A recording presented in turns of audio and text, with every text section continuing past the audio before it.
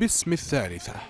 تقف التكهنات على نشوب حرب عالمية تؤججها ضربات الصواريخ الروسية التي يشنها بوتين على الشقيق الأصغر لموسكو.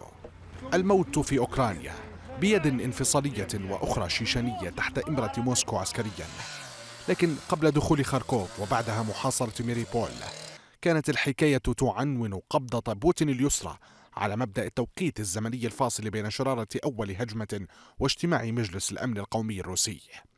وباكتشاف موقع استخباري عن عملية خداع كبيرة للقادة الغربيين فإن استقلال لوغانسك ودونيتسك حدثت قبل أن تنقل الصورة حدثها المباشر.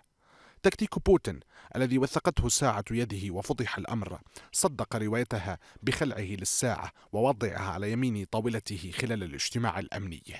فقد وقع بوتين على مرسوم اعتراف روسيا باستقلال المدينتين قبل اجتماعه الصوري وهو ما كشفه الموقع الاستخباري الذي تداولته وسائل الإعلام حين نقلته في الرابعة وخمس وعشرين دقيقة بتوقيت موسكو بينما رصد التوقيت في ساعة يد وزير الدفاع ووزير الخارجية التي أشارت حينها للحادية عشرة وخمس وأربعين دقيقة في الجلسة نفسها التي أشرت ساعة عمدة موسكو فيها للثانية عشرة وعشر دقائق. في حسابات اليد كانت مضمونة لعبة بوتين تلك التي قيل إنها لعبة صنعتها واشنطن وحلفاؤها لإيقاع موسكو في فخ الحرب. بينما تشكو أوكرانيا مصيبتها قائلة إنها ضريبة التقرب من أوروبا.